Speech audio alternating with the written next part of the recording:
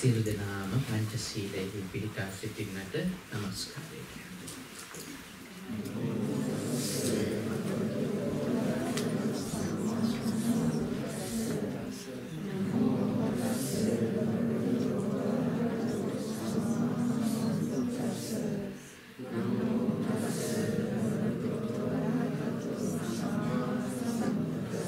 බුද්ධං සරණං ගච්ඡාමි ධම්මං සරණං ගච්ඡාමි. සංඝං සරණං ගච්ඡාමි. ဒ ුතියම්පි බුද්ධං සරණං ගච්ඡාමි. ဒ ුතියම්පි ධම්මං සරණං ගච්ඡාමි. Dutiyampi sanghang saranang gacchami Tatiyampi buddhang saranang gacchami Tatiyampi dhammang saranang gacchami Tatiyampi sanghang saranang gacchami Tisarana gamanang sampunnang පානාතිපාතා වේරමණී සික්ඛාපදං සමාදියාමි. අදින්නා දානා වේරමණී සික්ඛාපදං සමාදියාමි. කාමේසු මිච්ඡාචාරා වේරමණී සික්ඛාපදං සමාදියාමි. මුසාවාදා වේරමණී සික්ඛාපදං සමාදියාමි. සුරාමේරය මච්චපමා දට්ඨානා වේරමණී සික්ඛාපදං සමාදියාමි. අප්පමාදේන සම්පාදේත සමන්ත චක්කවාලේසු අත්‍රා ගච්ඡන්තු දේවතා සද්ධම්මං මුනි රාජස්ස සුනන්තු සග්ග මොක්කදං ධම්මස්සවන කාලෝ අයං බදන්තා ධම්මස්සවන කාලෝ අයං බදන්තා ධම්මස්සවන කාලෝ අයං බදන්තා. නමෝ තස්ස භගවතු අරහතෝ සම්මා සම්බුද්දස්ස නමෝ තස්ස භගවතු අරහතෝ සම්මා සම්බුද්දස්ස. නමෝ තස්ස භගවතු අරහතෝ සම්මා සම්බුද්දස්ස.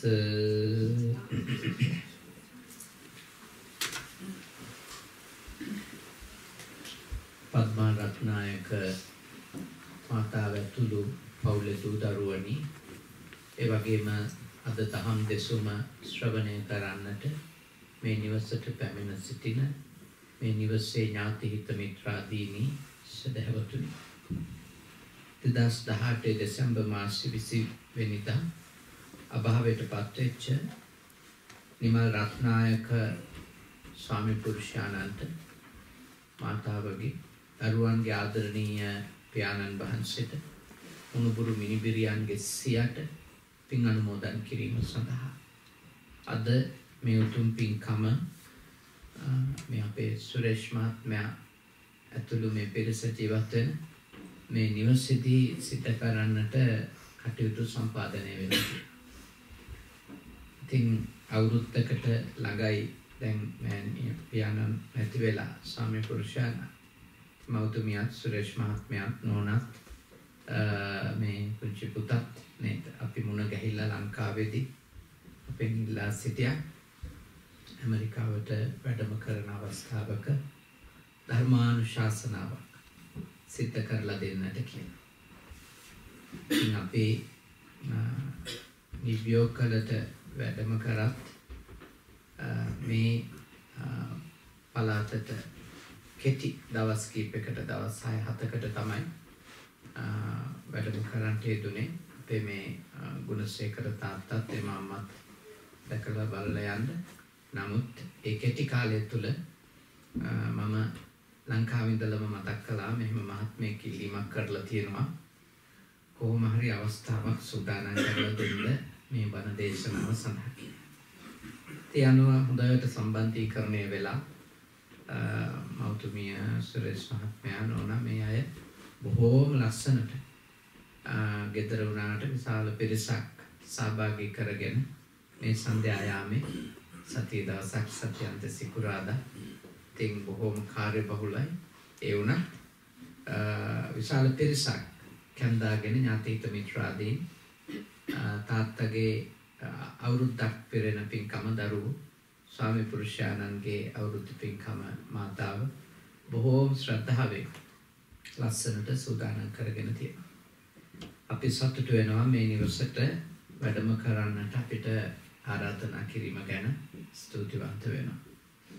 පින්වත් හැම දෙනාම පැමිණිලා ඉන්නේ ධර්මය ශ්‍රවණය කිරීමේ අභිලාෂය අරමුණට. ඒ මට අපේ සුරේෂ් මහත්මයා සඳහන් කළා ධම්මපදයේ මේ අත්ත වර්ගයෙන් ගාථා කීපයක් ඇසුරු කරගෙන මේ දේශනාව සිදු කරන්න කියලා. ඉතින් අපි ගාථා තුනක් විතර මම බලාපොරොත්තු වෙනවා ඔබත් එක්ක කතා කරන්න. එහි සම්පූර්ණයෙන්ම මේ තමන්ව දමනය කර ගැනීම, තමන්ව හදා ගැනීම ගැන තමයි මේ එතන අත්ත කියලා කිව්වේ ආත්ම කියන අර්ථය. ආත්ම කියලා කිව්වේ මේ සෝල් එක කියන එක නෙවෙයි. ඒ අර්ථයෙන් නෙවෙයි ආත්ම කියලා කිව්වේ. තමන් තමන්ගේ හිත තමන්ගේ මනස කියන අර්ථයෙන් තමයි බුදුදහමේ අත්ත කියන වචනය පාවිච්චි වෙලා තියෙන්නේ. එහෙම නැතු අර සදාකාලිකව නොවෙනස්ව මේ භවයෙන් ඊළඟ භවයට යන හෝ මේ භවයේ ඉඳලා අපායට යන හෝ මේ භවයේ ඉඳලා හෙවන් එකට යන අර දේව ආගම්වල දේවවාදී ආගම්වල පිළිගන්න ආත්මය නෙමෙයි. අත්ත කියලා බුදුදහමේ කතා කරන්නේ. බුදුදහමේ කතා කරන්නේ තමා කියන අර්ථේ. තමා කියන අර්ථේ. එතකොට තමා කියලා ගන්නකොට ඒක ගන්නෙ තමන්ගේ හිත කියන එක. චිත්තචෛතසික පරම්පරාව. තමන්ගේ සිත් සහ සිතුවිලි පරපුර ගැන තමයි මෙහිදී මේ සඳහන් කරන්නේ. ඒ පළවෙනි කාතාව ඉතාම වටින එකක් අත්තානං චේපියං ජඤ්ඤා රක්ඛේයනං සුරක්කිතං තින්න මඤ්ඤ තරඤ්ඤාමං පටිචක්කේය පඬිතෝ තමාට තමා ප්‍රිය නම් තමා හිවත් ආත්මය මනාව රැකගත යුතුයි පඬිතයා බාලවිය මැදුම්විය මහලුවිය යන තුන් අවස්ථාවෙන් එක් අවස්ථාවකදීවත් කුසලින් තමා පෝෂණය කරගත යුතුයි ඒකවේ තමන්ට ඇත්තටම තමන් ආදරේ නම් තමන්ව රැක ගන්න කියලා තමයි කියන්නේ. ආත්මය රැක ගන්න නැත්නම් තමන්ව ආරක්ෂා කරගන්න. මොකද අපි ඇත්තටම අපිට ආදරේ අපේ හිත ගැන හරි වග වෙන්න මොකද හිත මුල් වෙලා තමයි අපි සෑම ක්‍රියාවක්ම ඒ කියන්නේ කර්මයක් රැස් කරන සියලුම කර්ම ශක්තියින් රැස් කරන්නේ අපේ හිත මුල් වෙලා. එතකොට අපේ හිත හරියට අපි පරිස්සම් කරගත්තේ නැතොත් අපි කරන ක්‍රියාවන්ගෙන් අපේ මේ භවයත් පිරිහෙන්න පුළුවන්. අපේ මුළු සංසාර ගමනමත් පිරිලා යන්න පුළුවන්. ඒකයි Taman රැක ගන්න නැත්නම් Tamanගේ හිත රැක ගන්න කියලා බුද්ධාගමේ යෝජනා කරන්නේ Tamanට Taman ආදරේ නා. හැබැයි ගොඩාක් වෙලාවට අපි හිතට දක්වන අවධානය ඉතාම සල්පයි. අපි අපේ කෙස් ගැන ලෝම ගැන නියපොතු ගැන දත් ගැන හම ගැන අපි ගොඩාක් අවධානය යොමු කරනවා. බුදු දහම කියන්නේ ඒක ගැන අවධානය යොමු කරන්න එපයි කියලා. ඒත් ඊට වඩා වැඩි අවධානයක් තමන්ගේ හිත ගැන යොමු කරන්න කියලා තමයි බුදු දහමේ යෝජනාව. ඒ කියන්නේ කය ගැන සැලකිලිමත් වෙන තරමටම හෝ ඊටත් වඩා අපි අපේ හිත ගැන සැලකිල්ලෙන් බොහෝම සීකල්පනාවෙන් ඉන්නට ඕනේ. තාම සීකල්පනාවෙන් හිතන්න. පොත හිත රැක ගන්න බැරි වුණා. ඔක්කොම විනාශ වුණා තමයි. හිත රැකගත්තොත් ඔක්කොම රැකගත්තා වගේ තමයි. දවසක් එක හාමුදුරු කෙනෙක් බුදුරජාණන් වහන්සේ ගාවට ඇවිල්ලා උන්වහන්සේගේ ප්‍රශ්න කිව්වා. ස්වාමීනි මට තවදුරටත් මේ සිවුර තරන් ඉන්න මම. මොකද මේ බුද්ධ ශාසනය හරියට නීති. හරියට නීති. මේක කරන්න එපා, අරක කරන්න එපා, මෙහෙම ඉන්න ඕනේ, ආම ඉන්න ඕනේ. විනයදර යෝගාවට ගියන් එතනින් අවවාද දෙනවා, ධර්මදර යෝගාවට ගියන් එතනින් අවවාද දෙනවා. මේක විනයය, මේක අකුසලය කියලා මේක හරි කරදරයක්. ඒ නිසා මං සිවුරු වලට යනවා. මෙච්චර ගොඩක් රකින්න අමාරුයි. මං සිවුරු වලට ගිහිල්ලා ගියෙක් විදිහට නැගෙන පින්දාම් කටයුතු කරගන්න. බුදුරජාණන් වහන්සේ විමසුවා ඒ අඳුරංගෙන් තමන් වහන්සේ යන්න හදන්නේ මේ දේවල් රකින්න තියෙන දේවල් ප්‍රමාණය වැඩි හින්දා. එහෙමයි ස්වාමී. මේ මෙච්චර පුළුවන්ද මේ විනයදරයෝ මෙච්චර රකින්න කියනවා ධර්මදරයෝ මෙච්චර රකින්න කියනවා මේ රකින්න තියෙන ප්‍රමාණය වැඩි නිසා මම යන්නේ. බුදුහාමුදුරුවෝ හොඳයි. එහෙනම් මම ප්‍රමාණය අඩු කරලා දුන්නොත් ඉන්නවද? උනාද කිව්වේ එහෙමයි. අනිවාර්යෙන්ම ඉන්න. එහෙනම් මම ඔය ඔක්කොම ටික අතෑරලා එකක් රැකගෙන ඉන්න කියලා කියනවා. ඔක්කොම සිල්පද අමතක කළා දාන්න. ඔය ඔක්කොම විනය නීති අමතක කළා දාන්න. එකක් රකින්න කිව්වොත් රැකන් ඉන්නවා. එහෙමයි අනිවාර්යෙන් ඉන්නවා ස්වාමීන් කියලා. එතකොට බුදුහාමුදුරුවෝ ඔක්කොම අමතක කළා දාලා හිත රැකගන්න. මොකද හිත රැකුණොත් අර ඔක්කොම ටික රැකෙනවා. හිත අරසා කරගන්න බැරි වෙච්ච වෙලාවල් වල තමයි අපේ ප්‍රාණඝාත වෙන්නේ. හොරගම් කරා. වැරදි කාමිතය. බෝරු කියන්නේ, කේලම් කියන්නේ, පරුස වචන කියන්නේ, හිස් වචන කියන්නේ. මේ ඔක්කොම ටික වෙන්නේ හිත අරසා කරගන්න බැරුණා. හිතට අධික ආසාවල් ආවම හිතා ගන්න බැරි තරම් බලගත්තු තණ්හාවල් ආවම අපි දස අකුසල්ම කරනවා. තරහා ගන්න බැරි තරම් ඒ කියන්නේ අපි අපේ හිතට උපදින අර පටිගය තරහට අධික ලෙස වහල් වුණාම අපි දස අකුසල්ම කරන පටිගෙම. ඉතින් ඒ කියන්නේ හිතේ එන අකුසල සිතුවිලි වලින් හිත ආරක්ෂා කරගන්න බැරි වෙච්ච තැන්වලදී තමයි බුදුසාමය අපිට කියන්නේ අපේ අතින් සියලු වරදකාරී හැසිරීම් සිද්ධ වෙනවා. ඒ නිසා බුදුසමය යෝජනාව තමයි හිත ආරක්ෂා කරගන්න. හිත ආරක්ෂා කරගත්තම සියලු දේවල් රැකගත්තා වගේ තමයි. සියලුම දේවල් රැකුණා. ඒ හින්දා ඔබ ඔබට ඇත්තටම ආදරේ. හිත තමයි රකින්න. හැබැයි අපි වැඩිපුර අපිට ආදරේ හින්දා අපි රකින්නේ අපේ වාහන, ගෙවල්, දොරවල්. මොකද අපි හිතන්නේ මේ වාහනේ නැති වුණොත් අත් දෙක කැඩුණා. ඉතින් වාහනේ රකින්න ලයිසන් එක රැක ගන්නවා මේ. ඊළඟට කම්පියුටර් රැක ගන්න බලනවා. මොකද අපි අපි අඳුරගෙන තියෙනවා මේ මේ වගේ රටක ඉන්නවනම් රැක ගන්න ඕන දේවල් කියලා. හැබැයි ඒ ඔක්කොම ටික නේ ඒ ඔක්කොම ටික ආරක්ෂා වෙන්නෙත් මතක තියාගන්න ඕනේ හිත ආරක්ෂා කරන් හිටියොත් විතරයි. හිත ආරක්ෂා කරගත්තේ නැති එක්කෙනාට වාහනේ ආරක්ෂා කරගන්න හම්බෙන්නේ නැහැ.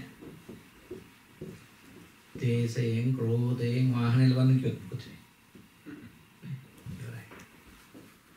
ලොකු අනතුරක් Tamanටත් කරගෙන අනුන්ටත් අනතුරක් කළා තමයි ඒක නවතින්නේ. අනිත් දේවලුත් එහෙම තමයි. ඒ හින්දා බුදු සමය යෝජනාව Tamanට ඇත්තටම ආදරේ. Tamanගේ හිත අරසක. හිත අරසක. Tamanට ඇත්තටම ආදරේ. හිත ආරක්ෂා කරගත්තේ නැතුව අපි දරුවෝ ආරක්ෂා කරන්න වැඩ නැහැ. හිත ආරක්ෂා කරගන්නේ නැතුව නෝන හෝ මහත්ය ආරක්ෂා කර කර හිටියට වැඩ නැහැ. එක සීමාවකදී මේ ඒගොල්ලෝ අපිට ආරක්ෂා කරගන්න කොහොමද මානව සම්පත හෝ භෞතික සම්පත් වල ස්වභාවය තමයි අපේ වසඟයේ තියාගන්න බැරි අවස්ථාව එනවා. අපිට ඕන විදිහට පවතින්නේ හෝ ඉන්නේ නැති. එතෙන්ට එනවනේ මානව සම්පත සහ භෞතික සම්පත. ඒක අපිට කියන්න පුළුවන් පුත්තාමත්ති ධනම්මත්ති කියලා. දරුවෝ මානව සම්පත කියලා ගන්න පුළුවන්. ධනං භෞතික සම්පත. එන්නේ ඔය දෙක ආරක්ෂා කරගන්න මිනිස්සු හරියට කැප වෙනවා. මොකද හිතනවා ඒ ඒ අපේ වටේ ඉන්න අය සහ අපේ වටේ තියෙන දේවල් ටික රැකගත්ත තරමට තමයි අපි රැකෙන්නේ. ඒ බුදුදහම යෝජනා කරනවා නෑ. ඒව ඒවා වැදගත් ඒත් ඒවා රැකුණටම අපි රැකෙන්නේ. හිත රැක ගන්න ඕනේ. හිත රැකුණොත් තමයි අපිට රක්ෂාවරණයක් හැදෙන්නේ නැත්තම් මොකද හේතුව? දරුවෝ රකින්නම අපි කොච්චර පව් කරන්නේ. දරුවෝ රකින්න. දරුවෝ උඩට ගේන්න දරුවෝ බලගතු කරගන්න. කොච්චර අකුසල් වෙනවද? ඔය බිරිඳ? සැමියා අපිට තියෙන සම්බන්ධකම් ඒව අරසා කරගන්න සමහර වෙලාවට ඒ සම්බන්ධකම් වෙනුවෙන්ම පව් කරනවා Taman තනියෙන් ඉඳිද්දි ජීවිතේට කරපු නැති ඒවා කරනවානේ. සම්බන්ධකම් ඉඳ. බුදුහාමුදුරුවෝ යෝජනා කරනවා ඒ විදිහේ පව් කරලා නම් සම්බන්ධකම් අරස කරන්න යන්න එපා. තමන්ගේ හිත පිරිහවාගෙන තමන්ගේ හිත දූෂිත කරගෙන කිසිම සම්බන්ධකමක් අරස කරන්න යන්න එපා. ඒකනේ පව් ගැන පව් ගැන කතා කරද්දී කියන්නේ මව නිසාවත් පව් කරන්න එපා. පියා නිසාවත් පව් කරන්න එපා. දරුවෝ නිසාවත් පව් කරන්න එපා. ඒ මොකද හේතුව ඒ ඒ කර්ම ශක්තියට ඒ කාටවත් අපිට උදව් කරන්න බෑ වගකීම ගන්න. මම කරන එක පවකවත් විපාකේ මං ගෝලය වෙනුවෙන් පව කරා කියමුකෝ මගේ ශිෂ්‍ය වෙනුවෙන්. හැබැයි ශිෂ්‍යුන්ට පවේ විපාක බෙදා ගන්න බෑ. මම පව කළා ගෙනල්ලා දෙන දේ බෙදා ගන්න. හැබැයි මට එන පවේ විපාක බෙදා ගන්න බෑ. ඒකට මම වග කියනවා. ඒ හින්දා ඇත්තටම අනුන්ට ආදරේ නම් තමන් රැක ගන්න. දරුවන්ට ආදරෙන් නම් තමන් ආරක්ෂා කරගන්න. තමන්ට ආදරේ නම් තමන්ගේ ආත්මය ආරක්ෂා කරගන්න. තමන්ගේ හිත ආරක්ෂා කරගන්න.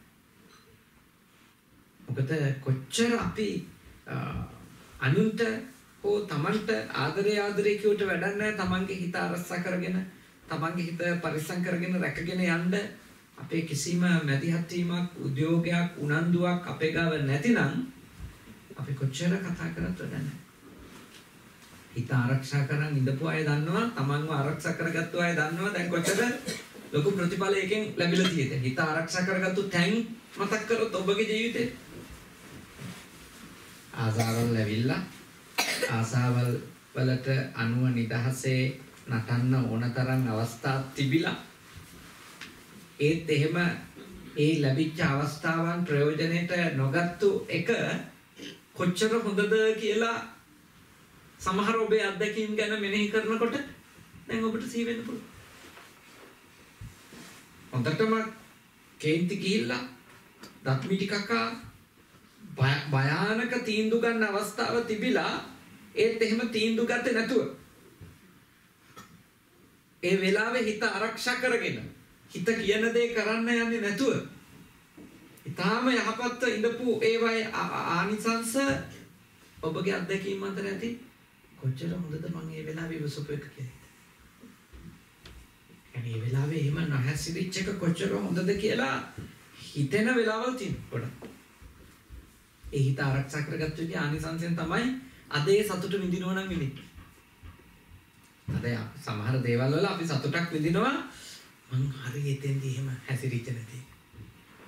මං හිතට වහල් වුණා නම් මගේ ආසාවට වහල් වුණා නම් මගේ තරහට වහල් වුණා නම් මම මම අද මේ ඉන්න තැන නෑ. දැන් නිකන් හිතන්නකො පොඩි කාලේ අපි කොච්චර කම්මැලිද? මෙතන ඉන්න බෞතරයක් වුණත් මම වුණත් නේද? ඉස්කෝලේ යන්න. වහිනවන කොච්චර ආසද අපි. පොඩි කාලේ ජොලි කාලේ. මට මතකයි අපි ඒ බිල බලනවා හිමින් ඉන්නවද වහිනවද කියලා. ඒ කම්මැලි ඉඳ හැබැයි ඒ කම්මැලිකමට වහල් වෙන්නේ නැතුව ඉගෙන ගන්න ඕනි කියන හිත ආරක්ෂා කරගත්තු එකේ අනිසංස අපි අද විඳිනවා. අපි අපි බහුතරයක් දෙනා මේ රටට ඇවිල්ලා ඉන්නේ ඇත්තටම කියනවා නම් අපි යම්කිසි ආකාරයක අධ්‍යාපනික සුදුසුකමක් අපේ ජීවිතය ඇතුලේ අපි උදා කරගත්තු එකේ අපි යම් දැනුමක් ලබා ගත්තා. කොහොමවත් මේ රටට මේ රටේ පවතින්න ඔබලාට යම්කිසි දැනුගත්කමක් පුංචි කාලේ ඉඳන් හදාගත්තු එක ඒ දැන් ඒ ඒ ඒ දැනුගත්කම හැදුනේ ඒ කාලේ ආපු අනිත් ආසාවල් වලට වහල් නොවිචින්ද ඒ කාලේ ආපු අනිත් තරහවල් වලට වහල් නොවිචින්දනේ දැන් ආපු තරහවල් වලට දිගටම වහල් වුණා නම් අපි ගුරුවරු එක්ක ගැටි ගැටි ඉගෙන ගන්න නැතුව පන්ති පන්තියට යන්න නැතුවේදී අපි ළමාවියේදී තරුණ වියට නව යෞවන වියට එනකොට එන ආසාවල් ටිකට වහල් වුණා නම් එහෙම අපි අධ්‍යාපනය ලබන්නේ නැතුව ඒව පස්සේ යන්න පුළුවන්. ඊළඟට නිදිමතට කම්මැලිකමට වහල් වුණා නම් ඒවත් අපේ හිතට නාසාන් හොඳ නිදාගත්ත නම් හොඳයි. අද මොනෝට ඉස්කෝලේ යන්න වරුසාව. දැන් එහෙම කියලා එන ඒ සිතුවිලි වල අපි වහල් වුණා නම් අද මේ මේ මේ සාර්ථකත්වය නැහැ අපි කාටවත්. අපි ඇත්තටම අපි ලබන්නේ නැහැ මේ සාර්ථකත්වය. ඒ කියන්නේ ඒ වෙලාවේ හිත ඉල්ලපු දේ නොදී අපි ආරක්ෂා කරපු නිසා අපේ හිත ඒ ඒ නරක අකුසල චෛතසිකයන්ගෙන් අද අපි සාර්ථකත්වයක් වෙන්නේ. ඊළඟට දැන් ඔය අපි පසුතැවෙන දැන් බලන්න. අපි යම් යම් ආකාරයකට අපිටම දොස් නගා ගන්න දේවල් තියෙනවා. මම ඒ වෙලාවේ ගත්තු මෝඩ තීරණ. හිතනවද නැත්? හිතනවානේ. මට තිබුණා ඔක නොකිය ඉන්න. මට තිබුණා ආ නොකිය ඉන්න. මෝඩයා වගේ කැමති වුණා. ඒ කියන්නේ ඇත්තටම ඒ ඒවයි කල්පනා කරලා බැලුවහම ඒව ඇතුලේ තියෙන්නේ මොකද්ද? අපේ හිතට නොහැකි වෙලා තියෙනවා. ඒ කියන්නේ අපිට නොහැකි වෙලා තියෙනවා අපේ හිතට ආපු සිතුවිල්ල පරිසම් කරන්න. ඒ කියන්නේ ඒක පාලනය කරගන්න. අපි එතකොට අර මොකක් හරි පුංචි ආසාවක් සහිත දෙයකට අපි වසඟ වුණාම භයානක විපතක් වෙන දෙයකට අපි හා කියලා තියෙනවා. ඒක තමයි ඔය අපි පස්සේ විඳෝන සහ පස්සේ අපිට වැරදුනා කියලා හිතන ඒවයි ඇත්ත කාරණේ. ඒ කියන්නේ ඒ වෙලාවේ ඒ ඒ හිත ආරක්ෂා කරගන්න ඒ වසඟ වේවි වසඟ වේවි අර පළඟටියා මේ ගින්න කාවට යනවා වගේ ඒක පැත්තටම ඇදිලා ඇදිලා දුවල දුවල යන්නේක නවත්ත ගන්න බැරි වෙච්ච තැන්ගේ. පසු අපි හරියට විඳවන ඒවා මතක් කර කරනේ අපරාධ ඒක නොකියන්න තිබුණා. එහෙම නොකරන්න තිබ්බා. එතෙන්ට නොගිහින් ඉන්න තිබ්බා. ඒ වෙලාවේ නොගිහින් ඉන්න තිබ්බා. ඔහොම ගොඩාක් ඒවා තියෙනවා. ඒ හිත රැකගත්තේ නැති හින්දා වෙච්ච අනතුරු ගැන අපිට මතක් වෙනකොට කොච්චර අපි විඳවනවද? ඒ නිසා බුදුදහම මේ කරන යෝජනාව හරීම ලස්සන දෙයක්. හරීම වටින දෙයක්. ඒ කියන්නේ තමන්ව ආරක්ෂා කරගන්න තමන්ට ආදරේ. තමන්ට ආදරේ නම් තමන්ගේ හිත ආරක්ෂා කරගන්න. තමන්ව පාලනය කරගන්න. මොකද ඇත්තටම මේ මේ මුළු ලෝකෙටම උදව් කරන්න පුළුවන් තමන්ව පාලනය කරගන්න. තමන්ව රැක ගන්න අයට තමන්ව පරිස්සම් කරගෙන කටයුතු කරන අයට තමයි අනිත් අයට හොඳම සේවාව කරන්නේ. තමන්ව පරිස්සම් කරගන්නේ නැති තමන්ව රැකගන්නේ නැති අයට අනිත් අය වෙනුවෙන් ඇත්තටම දෙයක් කරන්න හරි අමාරුයි. දැන් අපි කියමුකෝ මෙහෙම දැන් මෑනියෝ ඉන්නවා. දැන් මෑනියන්ට මේ ස්වාමි පුරුෂයා අභාවයට පත් වුණාම එනවා විශාල අසහනයක්. විශාල අසහනයක් එනෝනේ. තමන්ගේ ස්වාමි පුරුෂයා තමන්ගේ ජීවිතෙන් ගියාම තමන් එකක් හිතන්නේ නැති වෙලාවක හෝ වයස් මට්ටමක යාම විශාල දුකක් එනවා. දැන් ඒ වෙලාවේදී හිත රැක ගන්නවා කියලා කියන්නේ මොකක්ද? මරණ ධර්මය ගැන ගැඹුරින් තේරුම් ගන්න. මරණ ධර්මය කියන්නේ අපි කාටවත් නවත්තන්න හෝ පාලනය කරන්න පුළුවන් ධර්මතාවයක් නෙමෙයි. ඒ ධර්මයට අපි වයස කීයේදී හරි මුහුණ දෙන්න ඕනේ. මෙහෙම කල්පනා කරලා තමන්ගේ හිතට ඒත්තු ගන්නනවා ඒකට තමන් ඒක එක්ක ගැටෙන එක නෙමෙයි කරන්න ඕනේ ඒක තේරුම් ගන්න එක කියලා.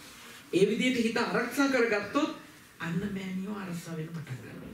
නැත්තම් වෙන්නේ කෑම අපිට නිින්ද එපා වෙනවා. කිසිම ක්‍රියාවක නියැලෙන්න අවශ්‍ය කරන අවශ්‍ය ඒ හිතට අවශ්‍ය කරන ජීවය ශක්තිය නැති වෙලා යනවා. දැන් මෑනියෝ ඒ අතහරිත තේරුම් අරගෙන ඔබතුමිය හිත පරිසම් කරගත්තු ගමන් නෑ. මම මේ මරණ එක්ක ගැටෙන්නේ නෑ. මම මේ මරණ එක්ක හිතින් රණ්ඩු වෙන්නේ නෑ. මම ඒක එක්ක ගැටි ගැටි මගේ කටයුතු නවත්ත ගන්නෙ නෑ. කියලා ඒක හදාගත්තු හින්දා හිත එම්ම හිත රැකගත්තු හින්දා අද මේ ලස්සනට පින්කමක් කරන්න අවස්ථාවක් ඒ කියන්නේ තමන්ව ආරක්ෂා කරගත්තේ නැතුව ආ මගේ මහත්තයා මරුණා. දැන් මට කවුද ඉන්නේ? දැන් මට සරණක් නැතු වුණා එහෙම එහෙම දිගටම ගියා නම් එහෙම ඔබතුමියත් ලෙඩ එතකොට ඔබතුමිය ඔබතුමියට ආදරේ නම් ඔබතුමිය කරන්න ඕන පළවෙනිම දේ යථාර්ථයන් තේරුම් අරගෙන හිත හදාගන්න. ඊළඟට කරන්න ඕන දේ තමයි, ඒ කියන්නේ ඇත්තටම කරන්න අවස්ථාව ලැබෙන දේ තමයි අනිත් එක්කෙනා වෙනුවෙන් ඊළඟට තව උපකාරයක් මරුණට පස්සේ හරි කරන්න තියෙන. ඒකත් කරන්න. කියන්නේ Taman සාර්ථක නොවි අනුසාර්ථක කරන්න බෑ. Tamanට ආදරේ වෙන්න ඕන. බුද්ධ ආගම කියන්නේ Taman අතාරින්න කියන්නේ. Tamanට ආදරේ වෙන්න ඕන. Tamanව හරියට පරිස්සම් කරගන්න ඕන. මොකද බුදුහාමුදුරුවෝ පවා ඉතින් Taman වහන්සේගේ හිත හදාගත්ත හින්දානේ අනුන්ගේ හිත හදන්න පුළුවන් උනේ. දැන් අපිට හොඳටම බුදුරජාණන් වහන්සේ තරම් අනුන්ගේ හිත හදන්න බැරියයි. අපිත් තාම හිත හදාගෙන ඉවර නැති ඉඳන්. දැන් අර පටාචාරාවට බුදුරජාණන් වහන්සේ ඇය උන්වහන්සේ ගාවට ආවම සඳහන් කරා නැග නැගණිය සිහිය උපදවා ගන්න. මෙහෙම කිව්වම ඇය පියවිසියට පත් වුණා. ඒ මොකද? ඒ තමයි ඒ වාක්‍ය කියන්නේ සතිමත් බව කියන එකේ යන්න පුළුවන් උපරිමයටම දියුණු කරපු උත්මයෙක් නේ කියන්නේ. එන ඔබ සිහිය ඇති කරගන්න කියලා කියන්නේ සිහියේම පිහිටුවා සිතගත්තු සිතක් සහිත උත්මයෙක්. දැන් අපිත් ඔය කියන්නේ ළමයින්ට ළමයා සිහියෙන් වැඩ කරන්න කියලා. ඒක ළමයින්ට එච්චර බරට දැනෙන්නේ නැහැ මොකද අපිටත් මෙලෝ 100ක් නැහැ සමහර වෙලාවට. අපිත් තාත භූත වෙලානේ ඉන්නේ ගොඩක් වෙලාවට. කරන එක මතක නෑ කියන එක මතක නෑ යනදන මතක නෑ තියපු දේ මතක නෑ ගත්තු දේ මතක නෑ. එහෙම ඉන්න ගමන් අපි ළමයින් එකම සිහියෙන් ඉන්න. එහෙම සිහියෙන් නෑ. මොකද අපේ වචනවල බර නෑ. ඒ වචන බර නැත්තේ මොකද තාම අපේ ඒක අපි අපිත් පුහුණු වෙනවා තා.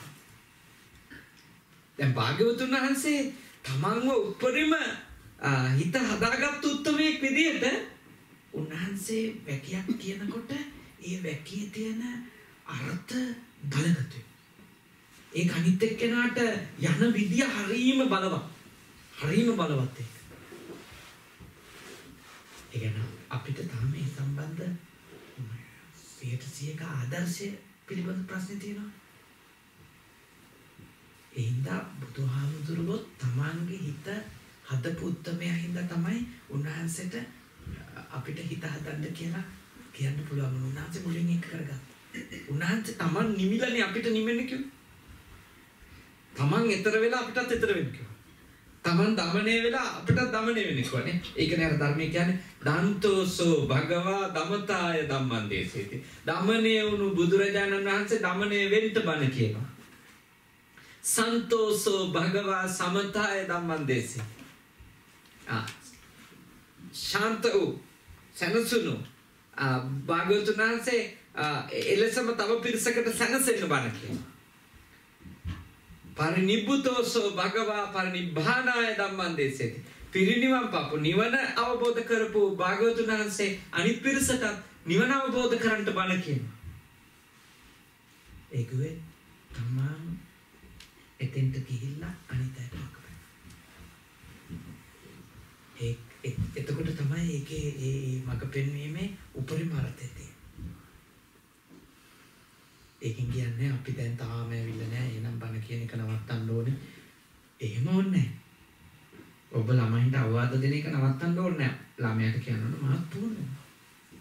මාත් බොරුන කියන පුහුණු. ඔය පහතුනත්. මාත් කිසිම හොරකමක් නොකර ඉන්න පුළුවන් උපරිම වීර්ය ගන්නවා. ඇත්ත ඒක නොකරේ.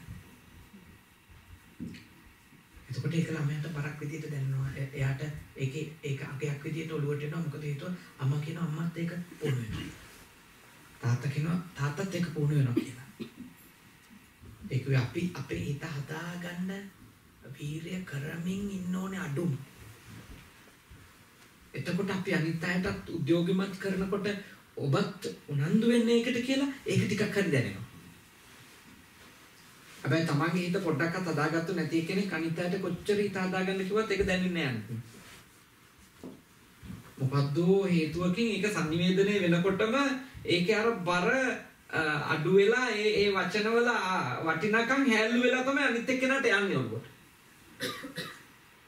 මොකද ඒ ඒවා තමන්ගේ ඇතුලේ නැතිවම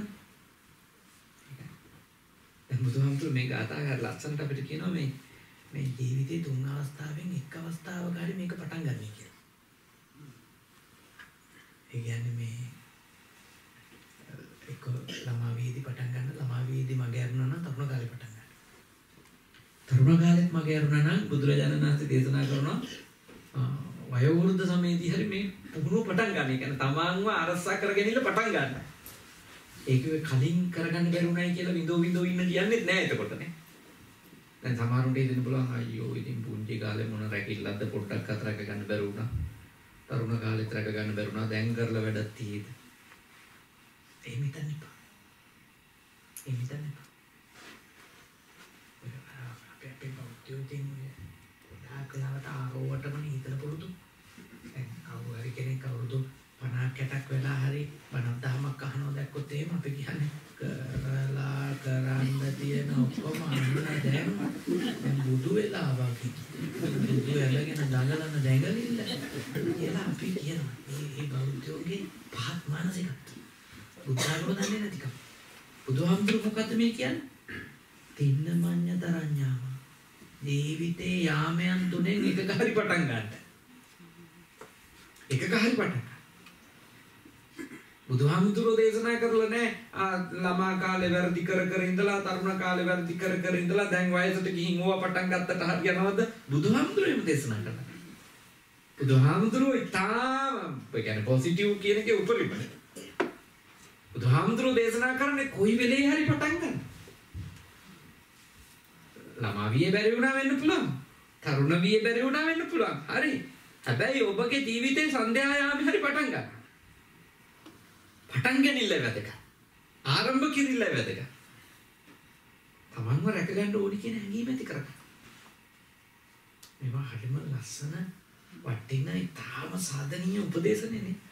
අර කිසි මිනිහෙක් මේ අපේක්ෂා බංගත්තට පත් කරන්නේ කිසි මිනිසෙකුට හිතෙන්නේ නැහැ මේ ධර්මය අහනකොට අයියෝ මට ඉඩක් නැහැ මේකේ.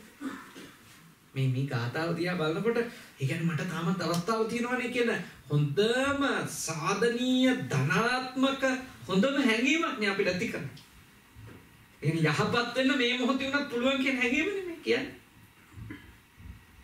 ඒ හින්දා ඔබගේ වයස කීය වුණත් මේ වෙනකන් ඔබ මොනවා කරලා තිබුණා මම ඔබට යෝජනා කරනවා ඒ වමතක කළා දාන්න ඒක අතීතේ. අතීතේ ගිහිල්ලා ඉවරයි. අනාගතේ ඇවිල්ලා මේ මොහොතේ ඔබ මේ මොහොත ගැන වග මේ මොහොත ගැන කල්පනාකාරී මේ මොහොතට බොහොම සිහිනුවණින් එළබිලා ඔබගේ පුහුණුව අරඹන්න කියන එක තමයි තමන්ව පරිස්සම් කරන් වැඩ කරන ගතිය තමන් තුළ දියුණු කරගන්නේ කියන එක තමයි මේ බුදුදහමේ යෝජනාව. මේක හරියම වටින අදහසක් අපිට. එතකොට අපි මිනිස්සුන් මේ පහත් කරන එක මිනිස්සුන්ට සමච්චල් කරන එකත් මේ වෙයි නවතින තව හොඳ එකක් මේ ගාථාවෙන් ඛණ්ඩනය කරලා දානවා. අපි ගාව තියෙන වැරදි ආකල්පයක්. ඒ තමයි වයසට ගියන් හදන්න බෑ.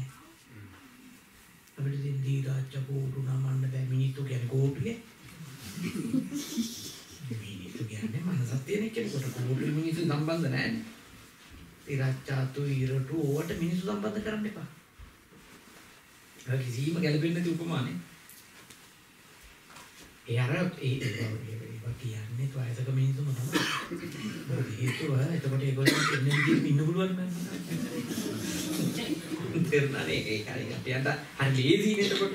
ඒ ඒ ඒ පොට්ටක්වත් වෙනස් නොවි අර ගති එක්ක එහෙම්ම මැරණකම්ම යන්න ඕනවට කියන එකක් තමයි අපේ වයසයි දැන් අපිට හැදෙන්න බෑ ඕගොල්ලෝවත් හැදෙන්න බලන්න. මේ බුද්ධ වචනට පටහැනි කතානේ ඒ ඔක්කොම මේ බුද්ධ වචනට පටහැනි. බුදුහාමුදුරෝ දේශනා කරලා තියෙන්නේ ජීවිතේ යාමයන් තුනක් තියෙනවා. එක බාලවිය, මැදුම් විය, තුන්වෙනි එක මහලු විය.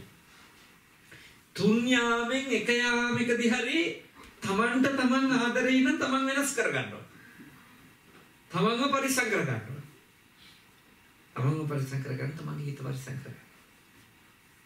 එනේ නාසාවේ වහලෙක් වෙන්නේ නැතුව එනේ නැති වෙන නැති වෙන තරගේ වහලෙක් වෙන්නේ නැතුව ඇති වෙන ඇති වෙන මෝහයේ අවිද්‍යාවේ වහලෙක් වෙන්නේ නැතුව මේවා ටිකක් පැහැදිලි කරගෙන නිර්වුල් කරගෙන හිත හදාගෙන ඔළුව කෙලින් තියාගෙන නේද? තමන්ගේ අරමුණු කරා යන්න ජීවිතේ කොයි වෙලාවක හරි උත්සාහ කරන්න. අතීත ගැන හිත හිත මේවා වුණා අර වුණා කී කී ඉන්න එපා. ඉතින් අපි අඟුලිමාල තරම් නරක වෙලා නැහැ නේ අපි කවුරුක. අඟුලිමාල නම් 999ක් හරි මරලා තියෙනවනේ. අපි එක මිනිහෙක්ම මරලා නැහැ. ඒ අතින් ගත්තාම අපි අපි අපි මේ ලැබපු ආත්ම භාවයේ භයානක අකුසල් කරපු අය නෙමෙයි.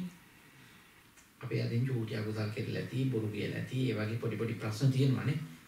නමුත් ඒවා ඒවා ගැන හිත හිත විදෝ විදෝ ඉන්න නෙමෙයි මේ බුදුදහම කියන්නේ. බුදුදහම කියන්නේ හරි ඒක ඉවරයි, ඒ චැප්ටර් එක ඉවරයි. ඒ ගැන හිතන්න ඒ ගැන හිතන්න එපා. මේ මොහොත ඉඳලා මම මගේ හිත රැක ගන්නවා කියන අරමුණේ යන්න. තමන්ම පරිස්සම් කරගන්න. තමන්ගේ හිතට අවිද්‍යාවන් එන්න දෙන්න එපා. මනස්ගත හදාගන්න එපා. තමන් බොහෝම සීකල්පනාවෙන් අවබෝධයෙන් කරන හැමදේම කරන්න. අකුසල පැත්තට යනකොට ඒකෙන් අයින් වෙන්න. කුසලයේ පුළුවන් තරම් පිහිටවන්න. මේ මේ ගාථාවේ අවධාරණය කරන්නේ ඒකනේ. ඒක අවධාරණය කරනවා මේ අවස්ථා තුනෙන් එකකදී හරි කුසලයෙන් තමන්ව පෝෂණය කරගන්න ඕනේ. කුසලේ තමන්ව පෝෂණය කරගන්න. දැන් කුසල කිව්වම ඒක පුළුල් මාත්‍රකාව. ඒක ඒක පුපිතාම් පුළුල් මාත්‍රකාව. යටත් පිරිසෙන් ඔයතු ගිහියෝනේ. ඔයතු ගිහියෝ විදිහට මම යෝජනා කරනවා ප්‍රාණඝාතයෙන් වැළකීම කුසලයක්. දස කුසල වල පළවෙනි එක. හොරකමින් වැළකීම කුසලයක්. දෙවෙනි එක. වැරදි කාමයෙන් හෙවත් කාම මිත්‍යාචාරයෙන් වැළකීම තුන්වෙනි කුසලය. බොරු කීමෙන් වැළකීම හතරවෙනි කුසලය. ඊළඟට මුසාවාදා වේරමණී පරුසා වාචා පරුස වචන කීමෙන් වැළකීම ඊළඟ කුසලය. පිසුනා වාචා කේලම් කීමෙන් වැළකීම ඊළඟ කුසලය. සම්පප්පලාප හිස් වචන කීමෙන් වැළකීම ඊළඟ කුසලය. ඊළඟට අභිජ්ජා ඒ කියන්නේ විෂම ලෝභයෙන් වැළකීම. ඒ කියන්නේ අනුන්ගේ වටත් ආස වෙන එකේ අනුන්ගේ දෙයට අනුන්ගේ අයට ආස හදාගන්නේ අපි. අපේ අපේ අපේ දෙයට නෙමෙයි මේ කියන්නේ ආසාව නැති කරගන්න කියන්නේ. මුලින් කියන්නේ අනුන්ගේ වට ආස වෙන්න එපා. අනුන්ගේ තනතුරට තානාන්තරයට යාන වාහන වලට ඉඩ කඩම් වලට දීපල වලට මිල මුදල් වලට හිතින් ආසාවල් හදාගන්න එපා. ඊළඟට අනුන් නැසේවා කියලා හිත හිත ඉන්න කෙනෙක් වෙන්න එපා. ව්‍යාපාදනේ. ව්‍යාපාද අනුන් නැසේවා, වෙනසේවා, පෙරදේවා, විනාශ වේවා. අපේ වාසනාවට ඡන්ද කාලේ අපි මැරුන්නේ. මොකද ගොඩාක් අය ඡන්ද කාලේ කරුණා නම් එහෙම අපායේ උපදින්න තියෙන ඉඩ කඩ වැඩි. මොකද ප්‍රතිවිරුද්ධ කාර්යාටගේ විනාශෙමනේ පතපතේ. විනාශෙන් පතපතේ ඉන්න මේ මිනිහට මඩක් ගැහුවොත් එimhe හරි සන්තෝෂ වෙනවා. මේ අන්න අන්න අන්න ඔය එළියට ඇවිල්ලා තියන්නේ කී සතුට. මේක අධික ද්වේෂෙන්නේ. විනාශෙමනේ පතපතේ. මිනිස්සු අගතියට ගියා කියන්නේ පක්ෂපාතීත්වයේ අගතියට ගියාම මිනිස්සු අනිත් පාර්ශවයේ විනාශෙමයි පතන්නේ. පක්ෂපාතීත්වයේ අගතියට ගියොත් කාට හරි ඊට ප්‍රතිපක්ෂයේ විනාශ පතන. ඒක හරීම මේ නරක තැනකට අපේ මනස යෑම. අපි හිතෙන්ට වැටෙන්න හොඳ නැහැ. අපි අපේ හිතට පුහුණුවක් දෙන්න ඕන අපි. අපේ හිත රකින්නවා කියන්නේ මොකද්ද? අපි පක්ෂපාතී නැති අය එක්කත් අපිට ඉන්න පුළුවන් අපි කැමති නැති අය තියෙනවා. ඉන්නවා අපි කැමති නැති දේවල් තියෙනවා. ඒවා එක්කත් ඒවා විනාශ කරලා දාන්න ඕනි කියන හැඟීම ඇති කරගන්නේ නැතුව සීකල්පනාවෙන් ඉන්න අපිට පුළුවන් වෙනවා. ඒක තමයි හිතක් රැකගත්තු මිනිස්සෙක් කියන්නේ. කියන්නේ අපි කැමති සියල්ල අපිට ලැබේවා කියලා හිතන මිනිස්සෙක් නොවී ඉන්න එකට තමයි අභිජ්ජාවෙන් වැළකෙනවා කියන්නේ. ඒ කියන්නේ විසව ලෝභයෙන් වළකිනවා කියන්නේ හිත අරස කරගන්නවා කියන්නේ ඒක ඒක කුසලයක් ඒක විශාල කුසලයක් මොකද හේතුව අපි ආස ඔක්කොම අපේ කරගන්න ඕනි කියන මනස්ගතෙන් අයින් වෙනවා. අපි අකමැති ඔක්කොම මේ ලෝකෙන් අයින් වෙන්න ඕනි ඉවර වෙන්න ඕනි කියන එක මහ විකාර සිතුවිල්ලක් නේ. ඒ සිතුවිල්ලෙන් අයින් වෙනවා. අපි අකමැති ඒවත් මේ ලෝකේ තියෙනවා. අපි අකමැති අයත් ඉන්නවා. ඒ අය එක්කත් අපිට ඉන්න පුළුවන් වෙන්න ඕන. අනික කුසලයක්, ලොකු කුසලයක්. ඒවා හිතින් කරගන්න කුසල. ඊළඟට මිච්ඡා දිට්ඨි. ඒක වල අපිට එන්න පුළුවන් අකුසල භයානක අකුසල සිතුවිල්ලක් තමයි අපි කරන ඒවායි විපාක නැහැ කියන්නේ. එහෙම ඉන්න පුළුවන් ඕව කරාට පවුනේ ඔය ඉච්චර ගණන් ගන්න දේවල් නෙමෙයි මොන බෞද්ධ ඔය ආඳුලගේ වල කොහෙද ඉන අපායවල අන්නේ වගේ ඒව එනවා අපිට ඒ කියන්නේ අපි අර යම් යම් දේවල් වලට මනසින් වටිනාකම් දෙනකොට එක්ක අපි ආසාව වැඩි වෙනකොට හෝ තරහ වැඩි වෙනකොට අධික ආසාව වැඩි වෙනකොට අපි යමකට හෝ යමෙකට අපි කියන්න උත්සාහ කරන එක තමයි ඒකේ ගියාට පවුනේ. එහෙම කරාට පවුනේ. මොකද අපි ඒ කියන්නේ ඒකට ආස වැඩි නම් අපි අපි දන්නේම නැතුව ඒ ඒ ආසාව ඇතුලේ කරන ටිකට පව් සිද්ධ වෙන්නේ නැහැ කියලා අපේ හිතින්ම හදාගන්න සංකල්ප. ඊළඟට අපි උග්‍ර තරහවල් හදාගත්තු ගමන් දැන් අපි අපි කිය ප්‍රභාකරන් නම් නරුවට කමක් නැහැ ඉතින්. සහරා සහරා මරන්න දෝ පේන්ටි දෙන්නේ. අපි කියන්නේ එයා මේ ඒ උග්‍ර තරයේදී අපි හිතනවා සහරාන් මරුවට කමක් නැහැ. අපි ඒගොල්ලෝ අනිවාර්යෙන් මරන්න ඕනේ කියලා. මතක තියාගන්න. අපේ අන්තිම හතුරා මරුවත් ඒක අකුසල කර්මයක්ද නැද්ද? අකුසල කර්මයක්. එයා මරණවද නොමරණවද කියන එක වෙනම කතාවක්. තාම ඒක නොකර ඉන්න පුළුවන්ද බැරිද කියන එක වෙනම කතාවක්. ඒ මිනිස්සු හදන්න පුළුවන්ද බැරිද කියන එකත් වෙනම කතාවක්. හැබැයි අපි හැබැයි අපි තේරුම් අරන් ඉන්න ඕනේ. අපේ හිතට කියලා දෙන්න ඕනේ. එයා කොච්චර නරක මිනිහෙක් වුණත් මරුවොත් අපිට අකුසලයක් වෙනවා. ඒක තමයි සම්මාදිට්ඨිය. සම්මාදිට්ඨිය කියන්නේ එන අකුසලයේ අකුසලයේ ලෙස පිළිගන්නවා මොන තරම් අලාභ වුණත්. මොන තරම් ලාභ වුණත් අකුසලයේ අකුසලයේ ලෙස පිළිගන්නවා. අලාභ වුණත් පිළිගන්නවා. ලාභ නිසා අකුසලයට කුසල කියන්නෙත් නැහැ. අලාභ නිසා අකුසලයට කුසල කියන්නෙත් නැහැ. අසම්මාදිට්ඨික භාවයට අහුරු වෙනකොට තියෙන ලාභය ඕක. එන්න හොඳට අපේ පින්වතුන්ලා හිත මේ වයින් කුසලයේ පිටවන්න කියන්නේ මේ මේ ජීවිතයේ අවස්ථා තුනෙන් එකකදීවත් මේ මේ කුසල වලට එන්න ඕනේ. සම්මා දිට්ඨිකේ ක්‍රීමේ උදාාර කුසලයේ අපේ හිතේ අපි දිනු කරගන්න ඕනේ. මොකද අපි එක එක යුගවල ඕවා පවු නැහැ අරවා පවු නැහැ මේවා පවු නැහැ කිය කියපු කාලා තියෙනවා. ඉතින් අපිට දැන් මේ ජීවිතය අපි ඉතින් මෙතන ඉන්න වැඩි හරියක් 35 වෙනපු අය නේ. අපි දැන් දැන් හැදෙන්න ඕන මොකද අපි ආයෙ තරුණ වෙන්නේ නැහැ. ආයෙ 25 වෙන්නේ නැහැ නේ ඊට. 25 වෙන්නේ ඊළඟ ආත්මෙ. ඒ නිසා අපි යන්නේ 40 50 60 65 ඔහොමනේ යන්නේ. අපි අපේ ජීවිතේ මේක තේරෙනකොට වෙනස් වෙනවා. අඩුම තාම සියලු පව් වලින් ගැලවෙන්න බැරි වුණා. ඒ පව් පවුලේදවත් පිළිගන්න. ඒක ඒක සම්මාදිට්ඨිය. තාම පවෙන් 100% ගැලවිලා නැහැ. ඒත් අඩුම කරන්නේ පව කියලා තේරුම් ගන්න. ඒක ඒක ලොකු දියුණුවක්. ඒ කියන්නේ මිනිස්සුන්ට මේ ඇත්තටම මේ තියෙන කාරණේ තමයි Taman ඉන්න තැන තේරෙන්නේ නැති. එක. මම මම අර එක මේ කියවනක් දැක්කා. එක මේ වහල් වහල් යුගයේ ජීවත් වෙච්ච අය. යන එක කාන්තාවක් එයා ඒ වහල් අය නිදහස් කරගන්න සටන් කරපු එකනේ ඒ කාන්තාව අපූර්ව කතාවක් කියනවා. ගොඩක් අය මට නිදහස් කරගන්න තිබුණා. ඒගොල්ලෝ දැනගෙන හිටියනම් ඒගොල්ලෝ වහල්ලු කියලා. ඒගොල්ලෝ නිදහස් කරගන්න බැරි වුණේ ඒ කාන්තාව කියනවා මොකද ඒගොල්ලෝ දැනගෙන හිටියේ නෑ ඒගොල්ලෝ වහල්ලු කියලා. ඒ කියන්නේ මම යම් කිසිවෙකුගේ වහලෙක් ලෙස ජීවත් වෙනවාය කියන එක මට තේරෙන්නේ නැත්තම් මම දන්නේ නැත්තම් මම ගැලවෙන්නේ ඒක තමයි ජීවිතය කියලා මට තේරෙන්නේ මගේ විශ්වාසය. ඒක තමයි ජීවිතය කියලා. ඒ කාන්තාව කියන ඒ හරි අපූර්ව කියමනක් මේ මේ ඇමරිකාවේ මේ ඉඳපු ඒ ඔය මේ එක එක යුගයක මේ ඔය වහල්ලුගෙන් නිදහස ලබා ගන්න වහල් ආයත නිදහස හොයාගන්න තිබිලා තියෙනුනේ ලොකු අරගෙන අනේ ඒ ඒක යුගයක එක කාන්තාවක් කියපු කියමනක්. දැන් ඒක මට බුද්ධාගමෙන් ඒක තේරෙන්නේ. ඒ කියන්නේ මම මම කරන්නේ අකුසලයක් කියලා දැනගන්න එක තමයි මට අකුසලයෙන් ගැලවෙන්න පදනම හැදෙන්නේ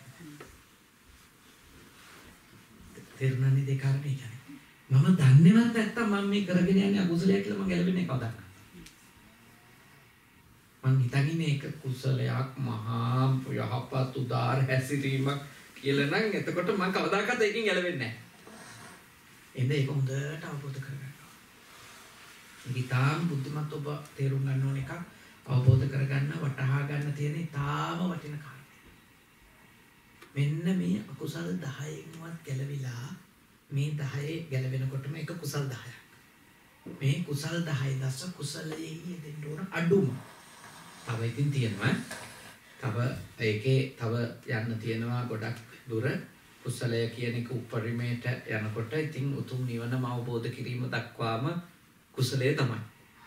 මොකද භාග්‍යවතුන් වහන්සේ වදාළනේ කුසලස්ස උප සම්පදා කියන එක නේද? එතකොට ධාන මට්ටම් මේ ඔක්කොම කුසලය ඇතුළේ විග්‍රහ කරනවා. මම ඒ ඔක්කොම කියන්නේ ඉතින් ගිහි ගෙදර ඉඳන් කරන්න පුළුවන් මට්ටම තමයි මම මේ කියන්නේ.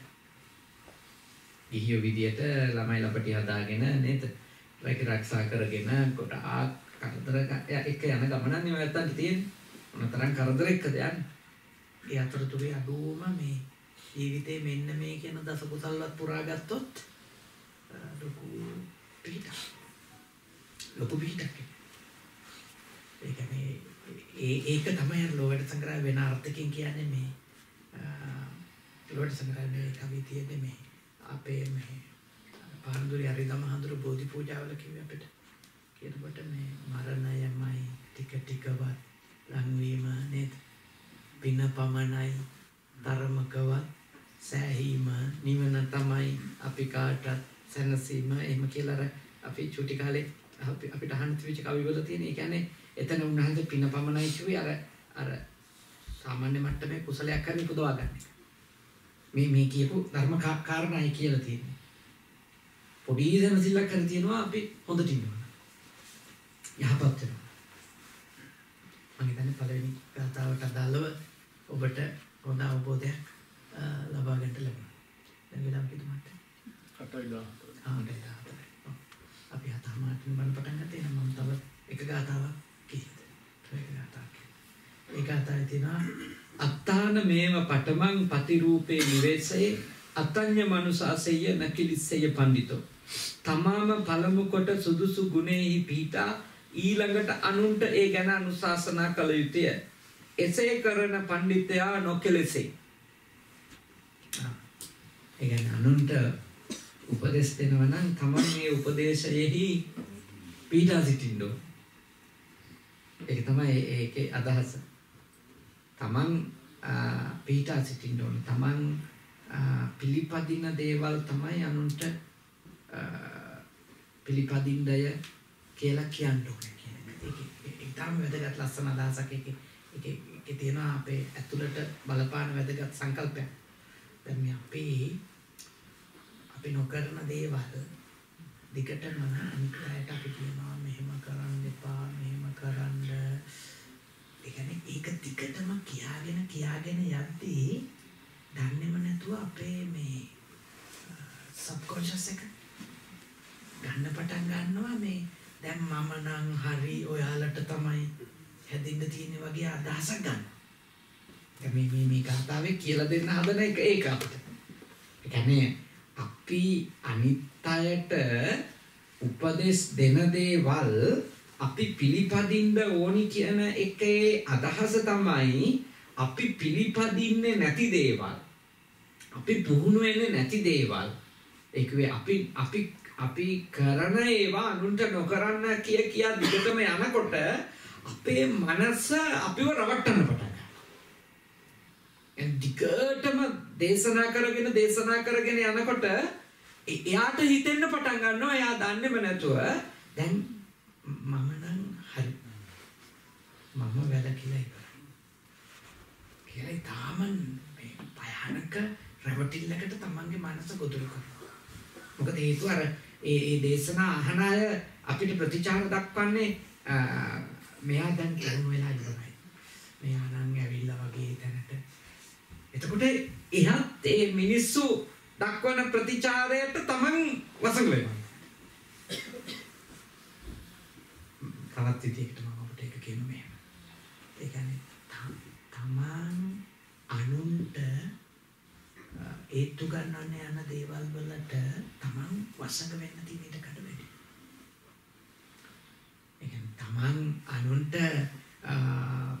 ඔළුවට රිංගවන්න හදවන දේවල් වලට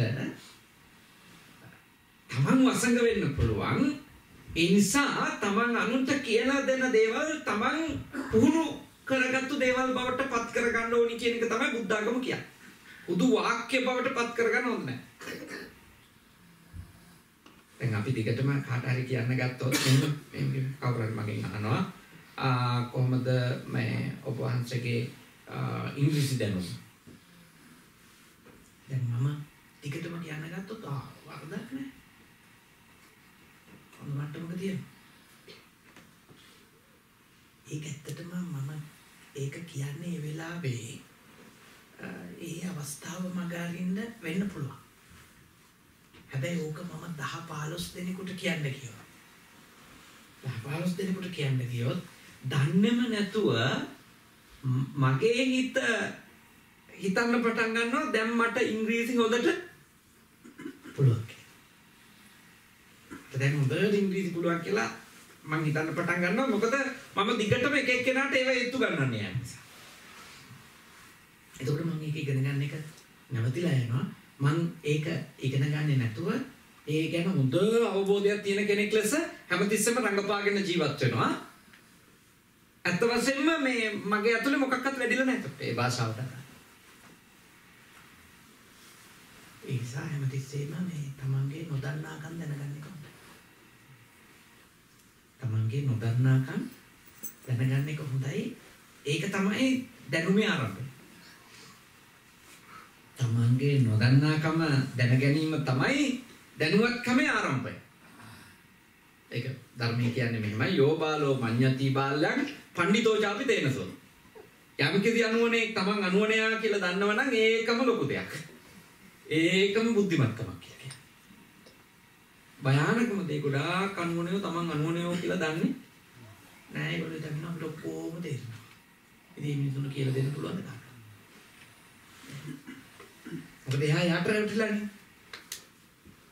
ඒකයි මේ තමන් ආපු නැති තලයන් ගැන අනුන්ට දේශනා දෙන්න යන්න එපා. වා දෙනු පරහට තමා සම්මතෙහි පිහිටා සිට කියලා අර පැරණි කියමනක් තියෙන්නේ. ඕවා ඕවා නිකන් නෙමෙයි. මොකද හේතුව ඒකේ ඒකේ නරක අර අර මනුස්ස අහන මනුස්සයාට මොකුත් ප්‍රශ්නයක් නැහැ. අවවාදේ හොඳයිනේ. අවවාදේ හොඳයි. ඒ අවවාදය අහලා සමහර විට ඒ මනුස්සයා යමක් කරගන්නවා. දැන් මේ තමන් සම්මතයක පිහිටා ඉඳලා අවවාද දෙන්න කියන එකේ අදහස තමයි තමන් දිගටම එහෙම කිසිම පුහුණුවක් නැති කාරණා අනුන්ට කියන්න ගියාම අනුන් හැදෙයි තමන් ඉන්න තැනම හැමදාම දොන්දරු කියලා තියෙන්නේ වගේ අය මේ හරියට අනුන්ගේ හරක් රකින්න මේ ගොපල් වගේ. ඒ කියන්නේ හොඳට මේ හොඳට අනුන්ට දේශනා ටික පවත්වනවා තමන් කිසිම දෙයක් පුහුණු වෙන්නේ නැති කට්ටිය භාග්‍යවතුන් වහන්සේ වදාලා ගෝපෝව ගාවෝ ගණයම් පරේසන් නභාගවා සාමඤ්ඤස හෝති කිය. ඒකුවේ අනුන්ගේ ගෝපල් ගවයෝ රකින්න ගෝපල්ලෙක් වගේ කිසිම මේ මහානකමේ ඵලය නම් එයා ලබන්නේ නැහැ කියලා. මොකද බහුම්පිජේ සහිතක් බාතම හොඳට කතා පවත්වන ගොඩාක් කතා පවත්වන. හැබැයි අල්ප දෙයක්වත් පුහුණු වෙන්නේ බොහෝ කතා පවත්තලා අල්ප දෙයක්වත් පුහුණු වෙන්නේ නැතුව ඉන්න මිනිස්සෙක් හරියට අනුන්ගේ හරක් රකින්න එක්කෙනෙක් වගේ. මොකද අනුන්ගේ හරක් රකින්න කට්ටියට ගොම හම්බෙන්නෙත් නැහැ, කිරි හම්බෙන්නෙත් නැහැ. තියෙන්නේ හරකට තනකොළ කවන්න, නාවන්න, මැක්කො ගලවන්න, මැස්සෝ එලවන්න, මේ දුම් අල්ලන්න, ගාලට දක්වන්න, තන බිමට දක්වන්න, අන්තිමට ගොපල්ලා මහලුණාට පස්සේ මිනිහා අයින් කළ වෙන ගොපල්ලෙක් ගන්නවා. ඔක්කොම ටික හරක් අයිතිකාරය. ඒක අනුන් ප්‍රයෝජන ගන්නවා. තමන්ට උත්හාගම යෝජනා කරන ඔබට ඔබ අනුන්ට අවවාද දෙනවා නම් ඉස්සෙල්ලා තමන් එක පිට ගන්න. මුද්දිකටම අවවාද දීමට කලබල වෙන්න එපා. පුහුණු වෙන්න ගොඩාක් අයට ජීවිතේ නෙමෙයි මේ ධර්ම මාර්ගයේ ඔක්කොගම පැටලෙලි හැදිලා තියෙන මෙන්න මේ වගේ මූලික දේවල් ඔළුවට දාගන්නේ නැතුව මේ ධර්මයේ උපරිම වැඩ කරන්න යෑමේ ප්‍රතිපල. දැන් බලන්න මේ මේ සංකල්ප ඔළුවට දාගත්තොත් අපි ලොකු කතා පවත්වන්න කලින් නිතරම අපේ ආධ්‍යාත්ම ගැන සීකල්පනාවෙන් ඉන්නවා.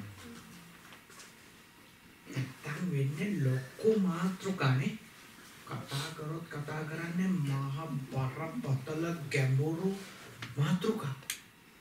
හැබැයි කරුණාව මෛත්‍රියවත් ඇතුළේ නැහැ. බේසික්ම දේවල් නේ. කරුණාවයි මෛත්‍රියයි දෙක. ඊවවත් ඇතුළේ නැහැ හැබැයි ඔක්කොම මාත්‍රකා ඔක්කොම. මම ඔබට යෝජනා කරනවා ඔබ ඒ වගේ ලොකු මාත්‍රකා කතා කරන්න එපා කියලා නෙමෙයි කියන්නේ. ඒ කතා කරන ඒවා එහෙනම් පුහුණු වෙන්න. එහෙනම් පුහුණු වෙන්න. පුහුණු නොවි කතා කර කර ගියොත් වෙන්නේ ඔබ ඔබේ දැනුම ඒ කියන්නේ ඔබේ උගත්කම ඔබ කල්පනා කරන්න ගන්නවා මොකක් ලෙසද? විමුක්තිය විමුක්ති ඥාන දර්ශනය. මහා විමුක්තියක් ලබලා දැන් මම ඉන්නේ. මගේ දැන් මේ ඥාන දර්ශනය පහළ වෙලා ඉවරයි. මගේ අවබෝධ වෙන්න ඕනේ ඔක්කොම අවබෝධ වෙලා ඉවරයි. සාක්ෂාත් වෙන්න ඕනේ සාක්ෂාත් වෙලා ඉවරයි. ප්‍රහීන වෙන්න ඕනේ ප්‍රහීන වෙලා ඉවරයි. මොකද දිගට මේව සාකච්ඡා කරනකොට. ඒ හින්දා තමන් තමන් පුහුණු වෙන්නේ නැති හෝ පුහුණු වෙලා ඉවර නැති දේවල්. අනුන්ට මහා පරිමාණයට දේශනා කරන්න යන්න එපා. සාමාන්‍ය ජීවිතේ වුණත් ඒක. සාමාන්‍ය ජීවිතේ වුණත් මේ ළමයෙකුට හරි ඒගොල්ලෝට එපයි කියන ඒවා අපි නොකර ඉන්න එක තමයි හොඳ. මොකද අපි නොකර ඉන්න ඒවා එපයි කිව්වොත් ඒක ළමයාට දැනෙනවා ඒකේ අම්මත් නොකර ඉන්නවා තාත්තත් නොකර ඉන්නවා අපිටත් එපයි කියනවා ඒකේ ඒකේ අර්ථයක් පේනවා ඒ අර ගාන්ධි තුමාගේ කතාවක් මම මේ විතර උපුටා දක්වන එතෙන්දී මේ ගාන්ධිතුමා යකි කාලේ ලෝය කෙනෙක් වෙන්න ඉගෙන ගත්තනේ එංගලන්තයට ඇවිල්ලා. එංගලන්තේ කුලී ගෙදරක එයා ඉඳලා එයාගේ අර චරිත කතාවක් තියෙන මේ කතාව. එයා කුලී ගෙදර ඉඳිද්දි මේ ඒ ගෙදර ළමයෙක් ඉන්නව පෙන් රහ ගන්න හරි ආසයි. අධික පෙන් රහට බැහැ වෙච්චා. චොක්ලට් කන්න ටොෆි කන්නේ මම පෙන් රහට ආසයි. ඉතින් හරියට දොස්තර ගාවට ගියාම හැමදාම මට දොස් තියෙනවා මේ දොස් කියනවා දොස්තර ළමයාගේ දත් ටික නරක් වෙලා. මේ මේ මේ මේක පාලනය කරන්න කියලා. හැබැයි පොඩි කාට කොච්චර අවවාද දුන්නත් මේ පොඩි කා ඒක අහන්නේ දිගටම කරා. හැබැයි මේ මේ ගෙදර තමයි කුලියට ගාන්ධි නැවතිලා ඉන්නේ. මේ අම්මා නිරීක්ෂණය කරනවා මේ ගාන්ධි කරන ඒවා ටිකක් අනුකර අනුකරණය කරමින් පුතා කරනවා. මේ ගෙදර ළමයා කරගෙන යනවා. අන්තිමට මේ අම්මා කල්පනා කරනවා ගාන්ධිට කියලා කියවුවා නම් හරියයි මේක කියලා. පෙන්නා ගන්න ඉපේ. දවසක් මේ ළමයා නැති වෙලාවේ ගාන්ධිගේ කාමරෙට ගිහිල්ලා ඒ කාන්තාව කියනවා ගාන්ධි මහත්තයා මට උදව්වක් කරන්න පුළුවන්ද කියලා. එතකොට ගාන්ධිතුමා කියනවා ඕ මැතිණිය කියන මම ඔබට උදව් කරන්න. එතකොට ඇය කියනවා මගේ පුතා මෙහෙම අධික ලෙස පෙන්නා කරනවා. ඔබතුමා කියන ඒවා එයා ටිකක් හොඳින් අහන බව මට පේනවා. ඔබතුමාට පුළුවන් ද කියන්නේ ඒක කරන්න එපා කියලා. පෙන් රැකම නවත්තලා දාන්න කියලා. ගාන්ධි කියනවා ඔව් අනිවාර්යෙන්ම මම මේක කියනවා. දැන් සතියක් බලන් ඉන්නවා. දැන් කියලා ඇති අද කියලා ඇති ඊයේ කියලා ඇති ඔහොම කියලා බලන් ඉන්නවා දැන් ළමයාගේ මේ පැණි රස කෑම පාලනය වෙනකන්. හැබැයි සතියක්ම මුකුත් වෙනසක් නැහැ. දෙවෙනි සතියෙත් බලන් හිටිය දෙවෙනි සතියෙත් වෙනසක් නැහැ. දෙවෙනි සතියේ අන්තිමදී ඇය කල්පනා කරා ස්ථිරව මේ මනුස්සයාට මේක අමතක වෙලා ඇති. ළමයාට කියන්න නැතුව ඉතින් කෝ කිසිම ළමයාගේ වෙනසක් නැහැ කියලා. ඇය යනවා ගාන්ධි ඉන්න කාමරේට ගිහිල්ලා දොර තට්ටු කළා ගාන්ධි මහත්තයා මා ඔබගෙන් ඉල්ලීමක් කරා ඔබට මතකද? දැන් සත් දෙකක් වෙනවා. ඔව් කියනවා. අද උදේ ඔබේ ඉල්ලීම මම ඉෂ්ට කරා. අද උදේ මම ඔබේ දරුවට කිව්වා පැණි රහ නොකෑමේ වටිනකම. ඒක නවත්තලා දාන එකේ තියෙන අගය මම අද ඔහුට කියලා දුන්නා. අර කාන්තාව අහනවා ඔබට ඕක කියන්න ඔච්චර කල් ගියද ගාන්ධි කියන නෑ ඊයේ රෑ තමයි මම පෙන් රහ කණ එක නවත්ත මේ බුද්ධ ආගම ඒ ගාන්ධිගේ බුද්ධ ධර්ම දානමය පටමන් ප්‍රතිරූපේ නිවේසය. අනුන්ට කියන්න කලින් ඉස්සෙල්ලා තමන් යමකින් වැළකින්න ඕනේ. තමන් වැළකිලා නැති දේවල් අනුන්ට කතා කරට වැඩක් නැහැ. පොඩි හිකුටවත් දැනෙන්නේ නැහැ හිතට. පුළුවන් තරම් ඔබ ඒ ගැන ඔබගේ ජීවිතේ සැලකිලිමත් වෙන්න කියන එක තමයි මේ මේ අදහස. ඒකේ අර අනිත් එක්කෙනාට ඒක හොඳටම සංනිවේදනය කරන්නත් ලැබෙනවා අපි ඒකේ පිහිටලා ඉන්නකොට දෙක තමයි අපි අපිට රැවටෙන එක නවතින. ඒ තමයි මේකේ වැදගත්ම කොට තමයි අපි අපිට රැවටෙන එක නවතින එක. මම හැදිලා ඔබ හැදෙන්නේ. මං වෙනස් වෙලා ඉවරයි ඔයා වෙනස් වෙන්නේ. මට මට හැදෙන්න දෙයක් නෑ. ඒකනේ ගොඩාක් බණිවරුණාම හරියට මට මිනිස්සු ඇවිල්ලා කියනවා නේ අපේ ළමයින්ට නම් හරිය හොඳ බණ ටික අපේ අම්මා කියලා. ඒ කියනකොට මම මේ මිනිහාගේ ඔළුවේ වැඩ කරන්නේ එයා හැදිලා ඉවරයි. එයාට බණ ඕනේ නෑ දැන්. පොඩි උන්ට තමයි මම. එයාලගේ පොඩි උන් කවදා හරි එහෙම තමයි. ඒ කියන්නේ මේ මේ මිනිස්සු ඉන්න තමන් තමන් ඉන්නේ ස්වයං විද්‍යාවට කියලා. තමන් විසින්ම තමන්ට වසඟ වෙලා. එඳා මේ තමන්ගේ හිත ගැන ගොඩක් පරිස්සම්ය. ගොඩාක් පරිස්සම්යෙන් තමන් ගැන කල්පනා කරන තමන් කරන දේවල් ඔය එළියට පෙන්නන ඒවා වැඩි වෙන තරමට තමන්ගේ පුහුණුව නවතිනවා. එළියට උනවට වඩා පෙන්වන්න දඟලනකොට අපි හරි බෞද්ධ කෙනෙක් නිතරම බණ දහම් අහන නිතරම මෙහෙමයි මෙහෙමයි කියලා ඔය ඕනවට වඩා පෙන්වන්න දඟලන්න එපා. ඒක ඇත්ත එකක් නුනොත් හරි භයානක විපතක් වෙනවා ඒක. තියෙන එකක් නම් පේනෝනේ පෙන්වන්න ඕනෙත් නෑනේ ඒක. ඒක අපි අනිත් එක්කනට පෙන්වන්න ඕනේ නෑ. යාගාව තියෙන එක නම් අපිට පේනවා. අනිත් අයටත් පේනවා. නමුත් අපි ඕනකට වඩා ඔය පෙන්වන්න යෑම හරිම භයානකයි. හරිම භයානක දෙයක්. ඒක ඇතුලේ මේ විපත Tamanටමයි. ඒක ඇතුලේ ලොකු විපතක් Tamanට වෙනවා. ලොකු හානියක් Tamanට වෙනවා. හොඳයි හොඳයි අටහමාර වෙන්නේ නැතිනේ. හොඳයි. අටහමාර. අටහමාර. හොඳයි. තාකේ නම් බනහන්නේ ප්‍රමාණ. අටහමාර අටහමාර මොකක්ද? බණහන් හිටියා.